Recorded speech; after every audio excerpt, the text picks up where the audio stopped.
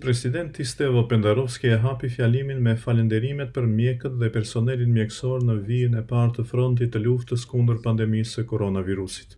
Një pjesë të madhe të fjalimit ia kushtoi çështjes së Covid nëntëmbëdhjetë, ndërsa u shpreh lidhur me teoritë e konspiracionit kundër vaksinave se gjysmanalfabetët dhe sharlatanët nuk mund të na e menaxhojnë krizën me pandeminë.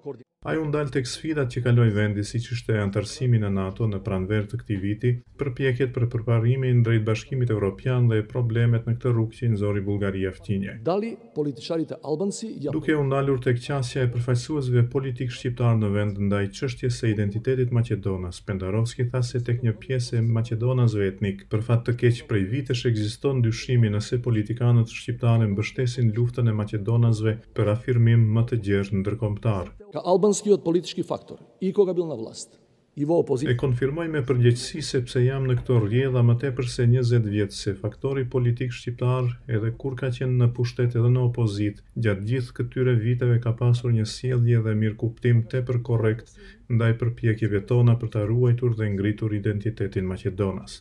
Ky qëndrim, tha presidenti, na ndihmonte të jemi më të fuqishëm në takimet me të gjithë emisarët e huaj, sepse e dinim se pas vetes kishim një qëndrim të bashkuar shtetëror.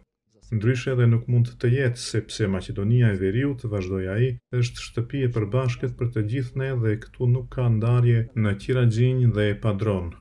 Zoti Pendarovski foli me tone kritike për qëndrimet e heshtura të Bashkimit Evropian ndërsa theksoi nevojën për vazhdimin e reformave dhe rrugës së vendit të tij drejt këtij unioni.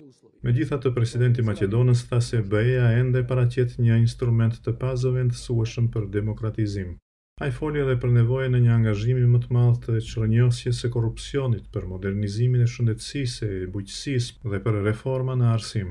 Deputetët opozitarë të VMRO-DPMNE-së e bojkotuan fjalimin.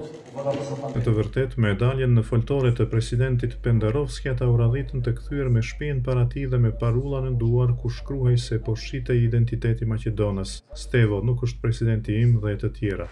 Për Zërin e Amerikës nga Shkupi Isak Ramadani.